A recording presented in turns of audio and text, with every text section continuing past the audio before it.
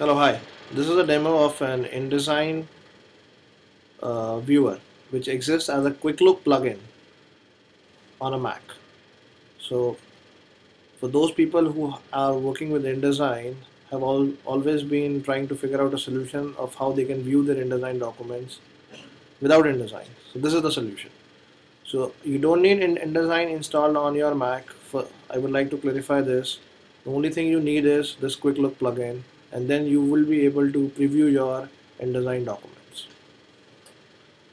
Like you see in this video, I have a InDesign document selected and I can still see the thumbnail of it. This is only possible with the help of this quick look plugin which is called ADOView.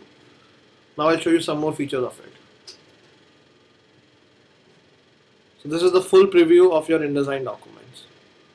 It gives you a multi-page preview of your InDesign documents it has some more advanced options. Fit to width fit to height spread view. This is a view for those people who are working with a spread layout in InDesign who want to see their bleed ads or images which are flowing across the spread. A very useful view for them. Gives you a complete thumbnails of all the pages you have on your InDesign document then it also has some information on the metadata. These are the fonts which have been used, true type, open type, links or assets linked to your InDesign document, colors used in your InDesign document. Also, if you want to magnify certain areas of your document, you can do that with the help of this magnifying lens.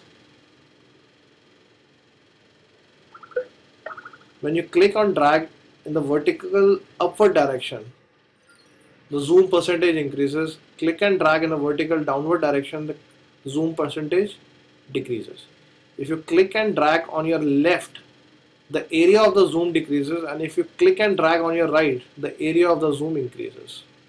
A very convenient way to zoom into a certain section of a document. It also has a zoom bar which you can use to zoom in and zoom out. You want some information you get some information over here. They, there's also a user manual on the website which you can get by clicking on this particular icon. Apart from InDesign document it also supports Illustrator PostScript EPS files InCopy files ASCII files and QuarkXPress documents. Thank you. Okay. and now I'll give you an insight on how this uh, product works this works on JPEGs, JPEG previews of InDesign pages embedded within the InDesign document. To get best results, please make sure in your InDesign preferences under your file handling tab, you have the preview size set to extra large and you have the pages set to all pages.